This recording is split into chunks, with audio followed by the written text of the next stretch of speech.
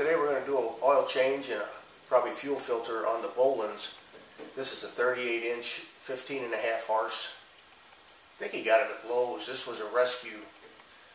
Uh, about 10 years ago, my father-in-law's health was failing and he wasn't really keeping up with the maintenance on it. Uh, the, he had the, the gas and oil. He was getting kind of confused and uh, deck was froze up. So my mother-in-law just wanted me to take it out to the country and dump it, just get it out of the yard. She didn't want it sitting in the back of the yard collecting leaves and stuff in the yard anymore. So I was just going to take and take it out the country and dump it in my behind the barn where I got the rest of my old riding mowers.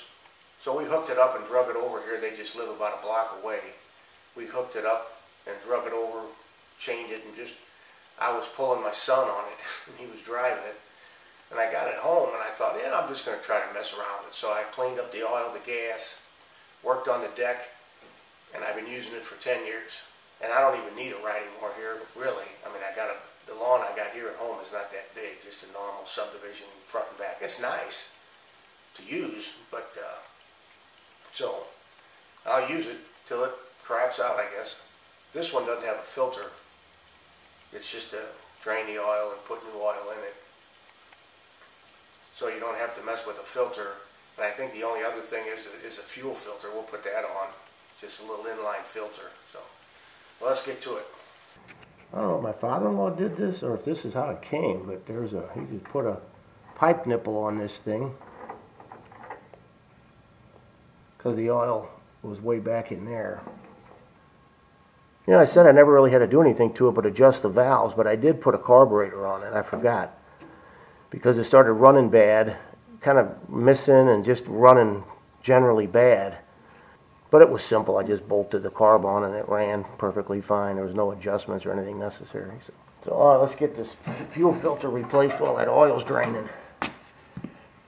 All right, this is going to be the, the gusher here, so I think I'm going to try to get this thing off and pulled up. I'm not going to worry about this a little bit of gas in here. And, uh, put the big side toward the fuel tank. Let's see if I can jam this in here. Just to hold this baby here for a minute. This one, I must have put this one on backwards the last time. Oh, whatever. All right, let's see what we got here. We can do this quick. There we got her. There we go. Yeah, I forgot about replacing that carburetor, so I got around this side. I thought, oh yeah, I forgot about that. All right, I think it's about done, or done enough, I guess. Let's see what we got here. That's plenty. All right, I got part of one here. I don't know if I'm going to need the funnel or not, but hopefully no. I think I got a new one somewhere. Just a little above full. I think I'm going to start it up, let it churn a little bit and see what happens here.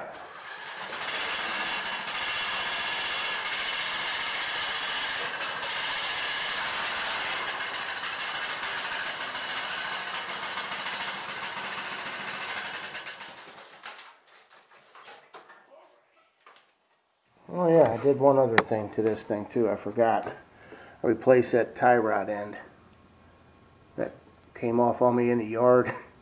Almost ran into the fence. I think it was last year.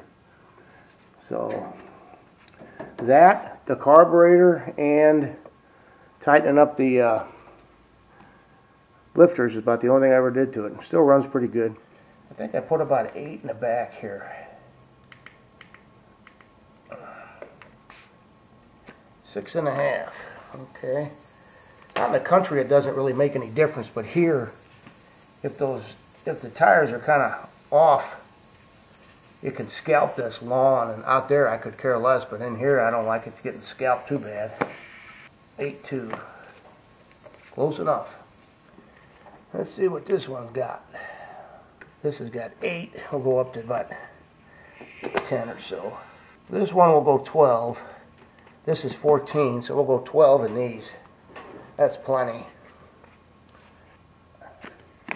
Good enough. 12.2, I think it said. See what we got here. Six eight. That's good. Eight two. I think the other one was eight two also. The blades are okay. The deck's okay. So not bad for a free one. When I got it, that's been probably 10, 8 or 10 years ago. I just drained the oil and the gas, got everything cleaned up, put fresh oil and gas in it, let it run itself out for, I probably let it out on the driveway there for about 10 minutes, let it run. Smoked up the whole neighborhood, but then it started running clean. I think I put a plug in it, and that's it. All right, ready for another couple years.